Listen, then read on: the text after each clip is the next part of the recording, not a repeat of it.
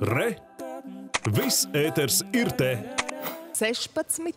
16. Citiem vārdiem šo piekdienu 4. pēcpusdienā nolikta stunda kādai pirmizrādei, kura, starp citu, būs tikpat kā bez vārdiem, jeb pēc sajūta teātra principa. Tā ir cēsu mazā teātra radītā izrāde pirmskolas vecuma bērniem gada laiki kurā jau rīt iesaistīties aicinās arī skatītājus. Un šorīt mums attālināti pievienojas izrādes režisore Liena Šmukste un cēsu mazā teātra vadītāja un producente Ilze Liepa.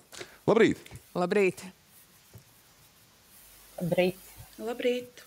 Nu, lūk, links ir nodibināts, sakari ir, tas nozīmē attālināt. Dzirdam viens otru par to prieks. Ilza, iespējams par cēsu mazo teātri, kas jau gan vairāk nekā trīs gadus darbojas, ne visi skatītāji būs dzirdējuši. Iedodiet lūdzu tādu nelielu vizītkārti par sevi. Kā jūs esat ienākuši teātra vidē, kas diezgan sarežģītajā pandēmijas laikā tomēr ietrāpījās? Uh, nu, mēs uh, sākām tā kā pirms pandēmijas. Un uh, nepaguvām daudz. Pirms pandēmijas mums bija uh, tikai divas izrādes.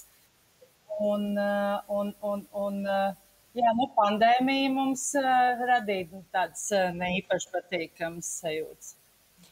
Jā, bet viens no žanriem ir izrādes bērniem. Kā jūs teikt, cik daudz uzmanības varat un arī vēlaties vēl, veltīt tieši šai publikai, pašiem mazākajiem skatītājiem? Manuprāt, tas ir ļoti svarīgi. Un arī man kaut kā sanācis, ir tā, ka režisors, ko es uzrunāju, tie izvēlas bērniem un jauniešiem veidot izrādes.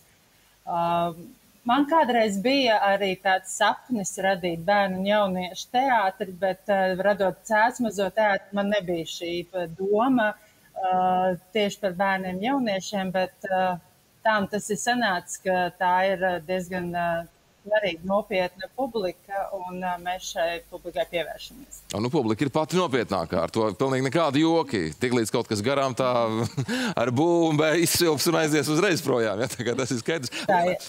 Liena, jūs veidotā gada laiki. Es saprotu, šajā teātrī jau jūsu otrā veidotā izrāde šoreiz nedaudz vecākiem skatītājiem. Pirmā bija tā vismaz norādīts bērniņam līdz trīs gadu vecumam vēl. Kas jūs piesaista tajā? Kā vispār izdodas veidot izrādes bērniem šeit? Kā mēs runājam, ne tik vienkāršai publikai. Um, jā, labrīt.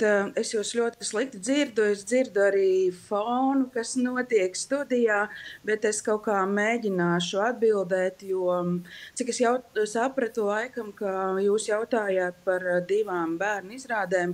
Jā, šī ir Cēsu mazajā teātrī otrā izrāde, ko es iestudēju. Šī ir nedaudz lielākiem bērniem. Mm, bet, nu, redzēsim, varbūt viņa tur nu, nav, nav tāds vecuma ierobežojums, līdz kuram vecumam. Man šķiet, ka šī izrāde varētu derēt arī pieaugušiem cilvēkiem, kuri nāk kopā ar saviem bērniem. Un, tā, jā, interesanti. Tas tāds man pašai interesants eksperiments, kā ir veidot izrādes bērniem. Formu jo tā ir tāda jā. vispatiesākā publika. Formu un saturu varat tuvāk iezīmēt. Kā tas būs? Ar improvizāciju, Ah. ar cietu dramaturģiju, kā tas risināsies? Ar cietu dramaturģiju, tā teikt. nu, nē, meitenes, meitenes gan dejos, gan uh, dziedās, uh, gan mēs izspēlēsim dažādus uh, četrus gada laikus. Bet uh, um, tur nav apakšā dramaturģija, tur ir mūsu pašu veidots, uh, veidot, uh, nu, tāds sižets, varētu teikt tā. Un uh, Ilze, rīt tātad pirmizrāda, kā mēs minējām, vēl kādi darbi ir pagūstami, kas vēl ir darāms, kas ieplānots? Jā, ir ieplānots līdz novembra beigām, ir paredzēts vēl divas pirmizrādes. Pirmām, otrām klasēm režisors Andris Zaļonka taisīs izrādi.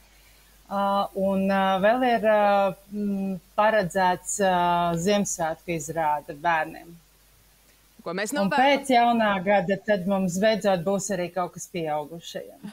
Nu, Ko mēs novēlam daudz priecīgus skatītājus, kuri galvenais arī vēlas nākt vēl un vēl atpakaļ uz citām izrādēm. Jā. Un līdzdarboties, kas arī nemaz svarīgi. Paldies par sarunu un lai jauka Jā, pirmizrādīt. Paldies! Lūk, par izrādi gada laiku runājām. Tātad 16. septembrī rīt Cēsīs uh, Latviešu mākslas centrā pirmizrāde noskaņu atmosfēras izrāde, kā tiek solīts. Un, nu, tikpat kā bez vārdiem, tā lai visi varētu saprast pavisam droši arī, arī mm, kritizēt gatavā publika. Galu galā māksla ir universāla valoda.